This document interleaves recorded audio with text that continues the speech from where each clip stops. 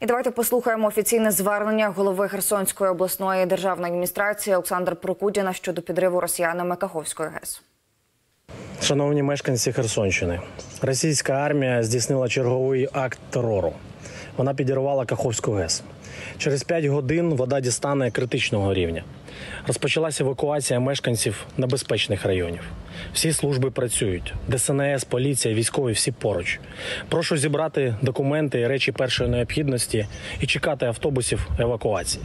Окремо звертаюсь до мешканців лівого берега.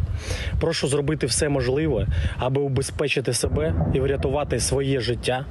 Негайно покиньте небезпечну територію.